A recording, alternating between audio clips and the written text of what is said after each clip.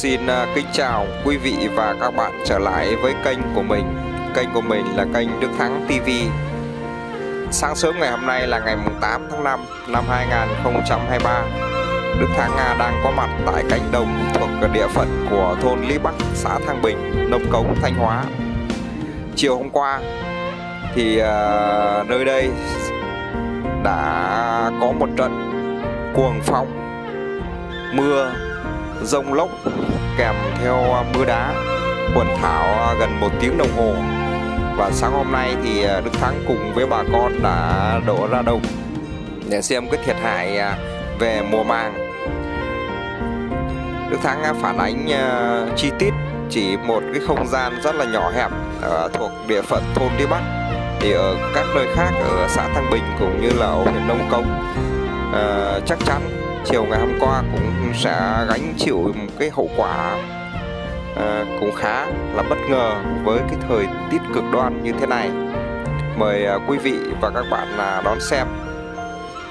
Rất mong chính quyền à, địa phương xã Thăng Bình cũng như là của huyện Nông Cống mà chỉ đạo bà con sớm à, khắc phục hậu quả để giảm thiểu tối đa cái thiệt hại về mùa màng cho bà con.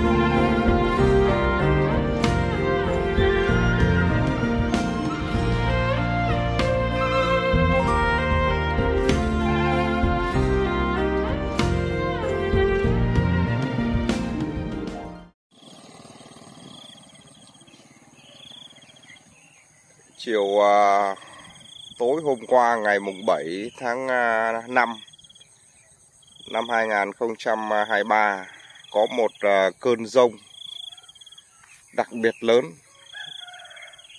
kéo theo uh, mưa và xen lẫn cả mưa đá. Gió phải đến cấp uh, 6 cấp 7 quần quần thảo trên cái khu vực này khoảng à, gần một tiếng đồng hồ để các bạn thấy là sáng hôm nay thì Đức Thắng ra thăm đồng. Thì một số à, trà lúa đã bị nằm bẹp xuống như thế này. Bây giờ lúa thì à, đang chuẩn bị chắc xanh. Những trà lúa hứa hẹn là mùa này sẽ bội thu. Nhưng mà các bác thấy là sau một cơn mưa giờ lúa đã nằm ẹp xuống và ngâm nước. Đây là năm xào của một uh, gia đình. Đến uh, trên 80% là đã nằm xuống cái này. Năm xào thì còn hơn 4 xào là nằm ngâm dưới nước.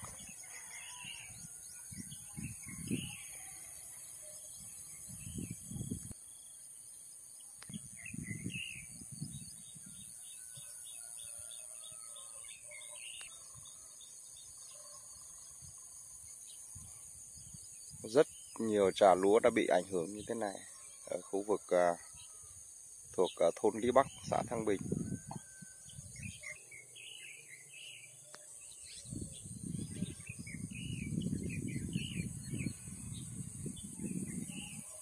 Theo dự kiến thì chỉ khoảng 2 tuần nữa là sẽ thu hoạch. Nhưng với cái uh, ngã đổ như thế này cũng thu hoạch thôi, nhưng mà năng suất thì nó sẽ kéo tụt thấp. Vì à, đang đông sữa làm đồng, thì khi mà bị gió, bị nằm ẹp như thế này thì cái năng suất và chất lượng nó sẽ giảm đáng kể. Đây à, là khu vực à, đằng sau. Nhà Đức Thắng cũng như là khu đất mạ số gia đình cũng đã có, có lúa bị ngã đổ. Trước cửa trung tâm à, của xã Thăng Bình.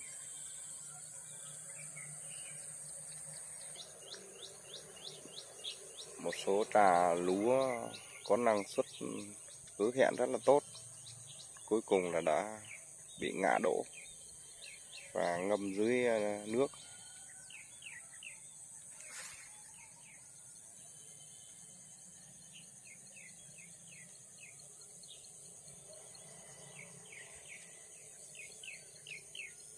Thì như à, hồ câu của Tuấn Nguyệt cũng đã bị à, tốc mái từ tháng sẽ lát nữa chúng sẽ xuống thăm như thế nào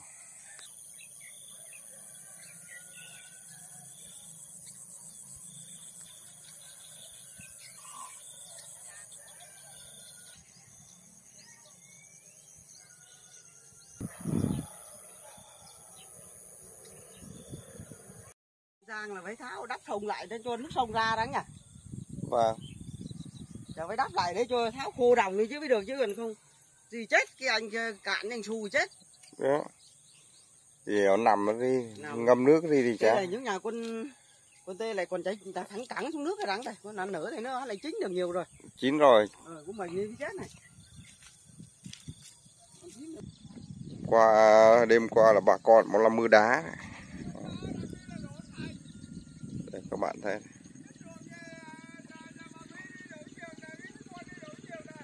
hết đổ hết rồi.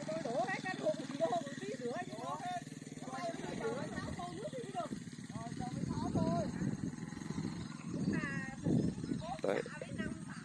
nằm bẹp hết rồi các bác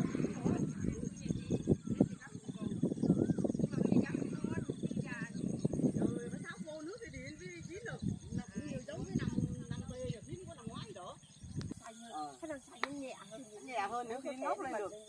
Cái gì mà thiếu nữa là chín kiểu nữa rồi nè. Ồ, cái đâm luôn đúng là. Quá là chín hơn rồi. Dẹp cái đâm luôn được. Thấy mất 50 phần trăm rồi. Nhà đệ thế này, nhà đệ thế nằm thầy, nhà đệ tốt cẳng như con ăn nữa hả và Nó làm. Ôi Trời chỉ cần tháo khô nước này bị năm tây. Đấy, cơn lốc kinh khủng Hồ cầu em Tuấn Nguyệt bay hết mái Phải làm cố định tí nữa Lốc còn tí may cái chỗ ở nó đang chắc ăn Chính cái bờ rô này lại chắc cái Tuấn này. Ờ nặng đỡ không được chi này. Em mà là bờ rô cũng được Tuấn ạ. Ờ bờ rô bây giờ người ta bán mê đó. Tôn nhẹ lắm, không thua mô. Bờ rô không được gì hết. Mà hắn này có khả năng hắn mát hơn là là ấy đó. Hậu cầu ờ, Tuấn Nguyệt hôm qua bị thiệt hại cũng khá là lớn. Một số à, dây điện này này bị đứt hoàn toàn. Một số à, camera giám sát cũng đã bị à, bay xuống ao. Hiện tại là điện đã bị cấp ao phụ kinh khủng luôn bà con thì bây giờ đổ ra đồng để à, lắc đầu ngao ngán với những cái thửa lúa mà bây giờ nằm bẹp ở dưới nước. Đêm hôm qua thì mưa rất là lớn khoảng một tiếng đồng hồ quần thảo. Gió phải đến cấp 7, cấp 8 nó xoáy. Với cái thời tiết à, cực đoan như thế này thì à, không thể đỡ nổi diễn ra rất là nhanh. Đài báo thì chỉ hôm trước, hôm sau đã đã bị một cái thời tiết khá là cực đoan. Trước đó thì à, nắng nóng. Đấy.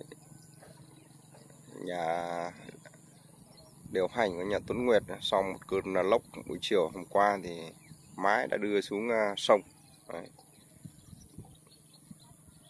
Rất là vất vả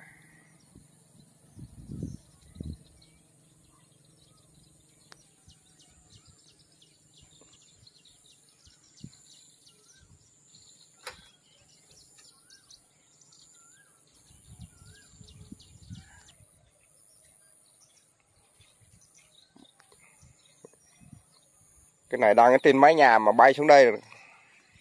bình dây điện đây coi còn điện ông Tuấn này ờ cắt đi làm xong rồi nối lại Gọi báo cắt để đừng có điện mày đi qua giật chết. ừ.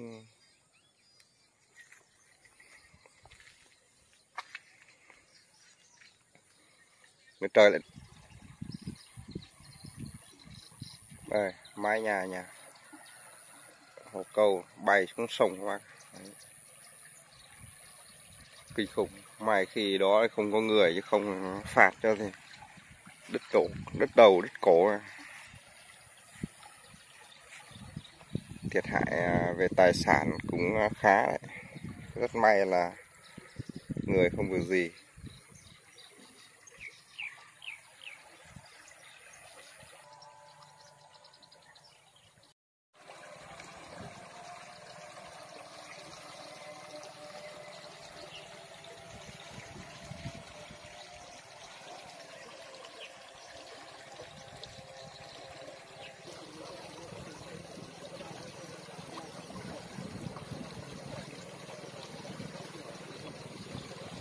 Đấy, mái nhà là, là nằm gọn ở trong lòng sông.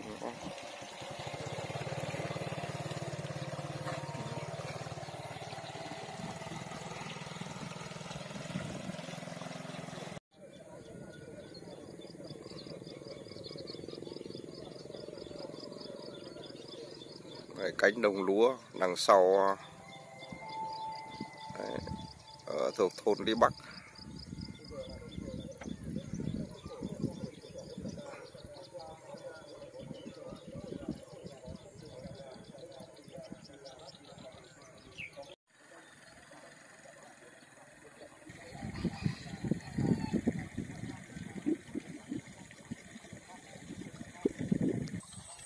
Qua rồng ông có trong ở ngoài này không?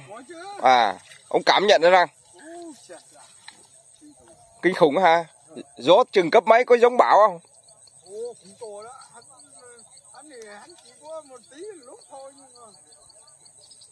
Như bão hả? Ờ, Chà, kinh khủng nhỉ.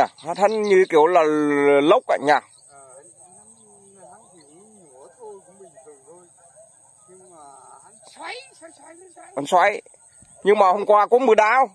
có có mưa đá Có mưa đá luôn. có mưa đá À, mưa đá nhưng mà cũng có ít thôi vâng. Đúng rồi. Ít thôi nhưng mà mưa đá. À, mưa đá đấy mưa đá. Chết dở nha. Ở ở đồng dưới thì không vấn đề gì nhưng mà đồng trên là một số trà lúa rừng rận rồi chuẩn bị ờ, chín rồi là đổ nhiều.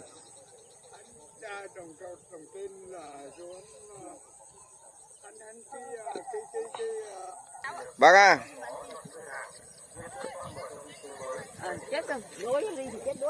Chết đuối đến nơi là việc gió này là là quay lại ờ, là thiếu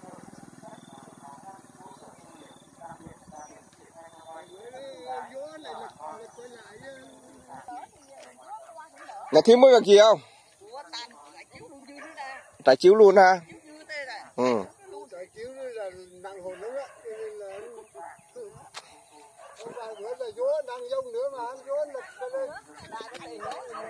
lật coi lại á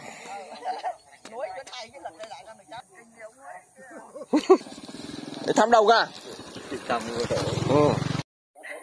thử ruộng à, đằng sau nhà văn hóa thôn Lý Bạc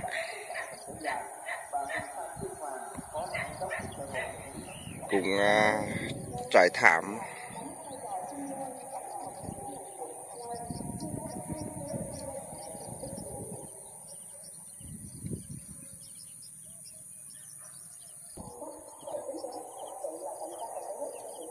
Lúa rất là tốt. Ngả đổ hết rồi. Ngay bên cạnh nhà văn hóa thôn Lý Bắc. Đấy. chỗ ờ, thứ thử ruộng nhà bác Huynh thì cũng đổ hết rồi.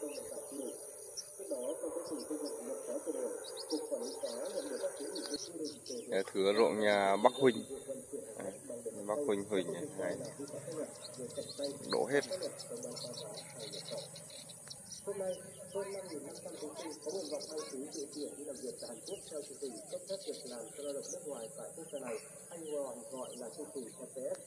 Lúa tốt quá đau lưng nó nó nằm nghỉ tí không sao đâu.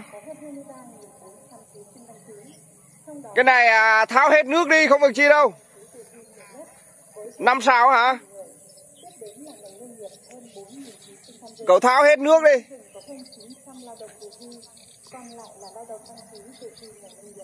Để triển khai tổ chức kỳ thi tiến hành đảm bảo an toàn công khai minh bạch bà phạm ngọc lan phó giám đốc trung tâm lao động ngoài nước cho biết để có thể đảm bảo trường đại học long an công bố điểm trúng tuyển dao động từ 16,5 đến 25 điểm trong đó điểm chuẩn chính thức tuyển đại học đều dao động từ 18 đến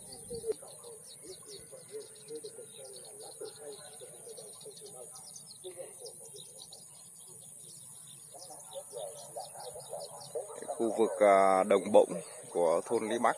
Một số trà lúa đang chắc xanh đổ đuôi cũng à, bị ngã đổ.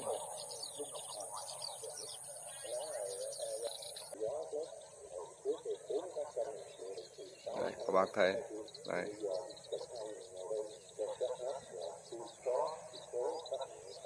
Cái khu à, cánh đồng thôn Lý Bắc.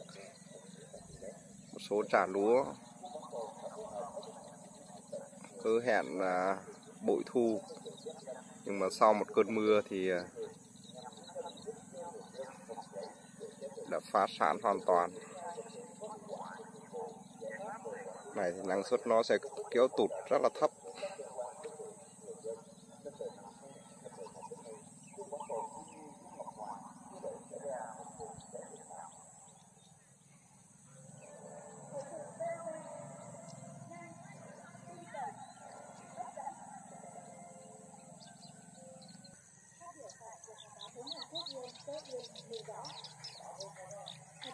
Các